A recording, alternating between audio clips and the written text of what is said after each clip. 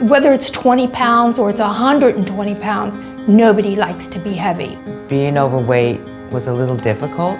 When I first came to this office, I like it. This is what I was looking for, and it's exactly what I expected. The staff here is amazing. Immediately after this surgery, I could, I could just feel thinner. I felt great. Results were practically immediate. I've lost about 80 pounds. My goal weight was 140 and I've actually reached that before the year. I think that means I've lost about 75 pounds. After seeing my results, I would definitely come back and do it again. I would absolutely 100% recommend this procedure.